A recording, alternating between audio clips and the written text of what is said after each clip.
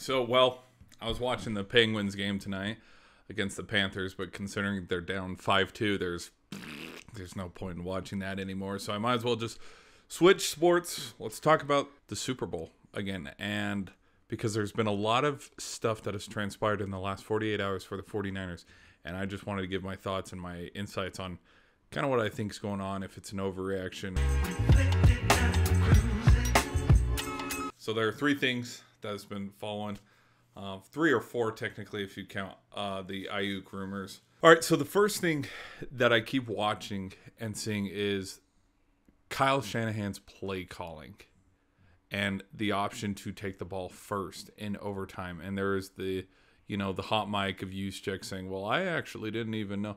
He, the referee said it at the beginning of the broadcast during the coin toss. Like each team possesses the ball. It's not like the 49ers knew that, hey, if we kick a field goal, we win here. Hey, if we score a touchdown, we win here. They knew that. Like the rules have been changed because of the Bills versus Chiefs game. So like everybody knew that. That was two years ago. And so if he didn't know that, that's his own fault. There is like the criticism of why would Shanahan, you know, want the ball first? You always want to give the other team the ball first, you know, so your offense knows what to do, you know, have them go score first. That is a perfect thought. But if you're watching the game in real time, probably two minutes real time, Patrick Mahomes just drove down the field and kicked a field goal. Almost had a Travis Kelce breakaway touchdown to like seal the game and win it with five seconds left in the ball game. And so I think it was actually pretty smart for them to go offense first because if they marched the defense right back out there, the Chiefs would have taken all the momentum and they would have gone up by seven. And then instead of, you know, it being Mahomes to Hardman for the win, you know, at the very end, it that fourth down, that third down, like there probably could have been a defensive stop and the 49ers would have lost on fourth and one.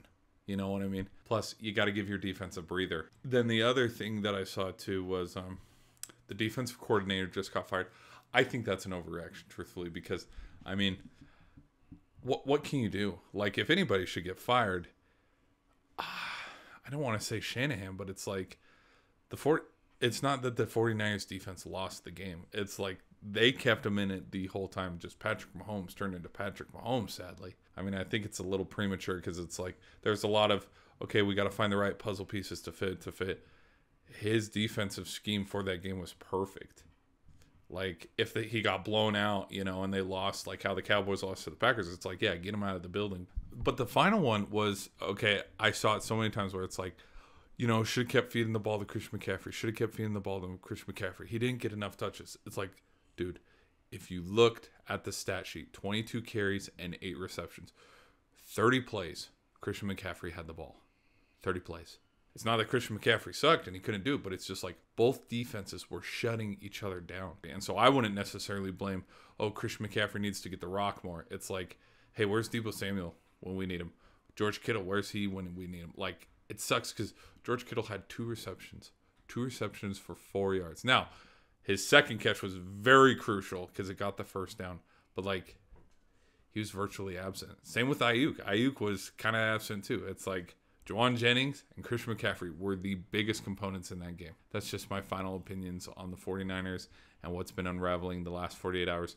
Do I think they'll make it back to a Super Bowl? Absolutely. They're still the standard and the best team in the NFC by far because Eagles fell off this year. Um, Rams, uh, I think the Rams need a couple more pieces um, to get back. The Lions, I think the Lions, this was a big season for them, but I think they might take a little bit of a step back, maybe only get to the divisional next year. Dude, the NFC is wide open still, so that's my thoughts on that. This all show? All day? No, I put it on for the I mean, what do you morning skate this morning. Pal. I came right over here afterwards. Okay, so so we were The two shot there. Just I'm just in the slot all day. just wait. One timers, baby. Ready.